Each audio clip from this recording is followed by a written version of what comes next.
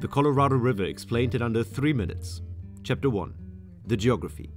The river starts off in the idyllic Rocky Mountains National Park in the US state of Colorado.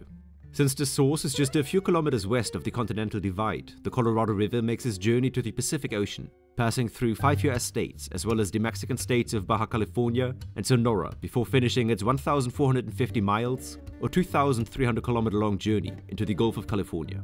When examining the course of the Colorado River on a map, there are several oddly shaped bodies of water standing out, whose shapes look nothing like how you would usually imagine a lake to look like.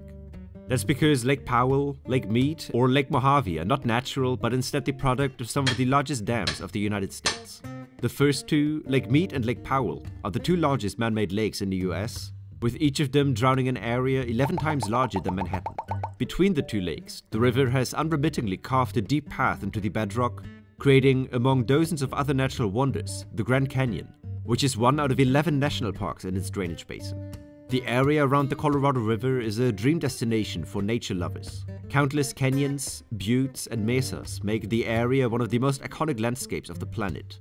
But unsustainable human interference also turned the Colorado River into a scene of one of the largest man made environmental disasters in the world. Chapter 2 The Law of the River.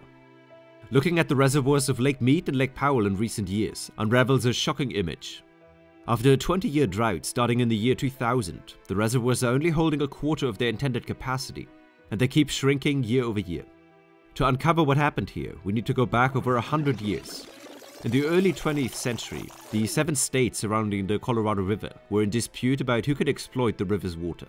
To settle this, a plan was drawn up which separates the contending states into an upper and lower basin, allocating 7.5 million acre feet, or around 300 cubic meters per second, to each basin, with Mexico receiving an additional 60.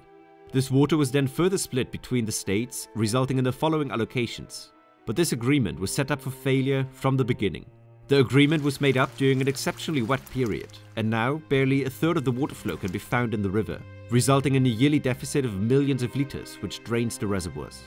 Stresses caused by climate change have further reduced the inflow from the melting Rocky Mountain snow, and exploding populations over the last hundred years, with severely increased water needs for irrigation, have given the river and the reservoirs the final blow. The last 100 miles of the river have run completely dry in the past years, and the Biden administration has been forced to ration the water for the seven states even more in recent years. For how long the 40 million people in the Colorado Basin can still depend on the river is unclear. Increased snowfall in the winter of 2022 have pushed back the direst predictions, but it is clear that water usage of the Colorado River cannot continue the same way. Thanks for watching, cheers.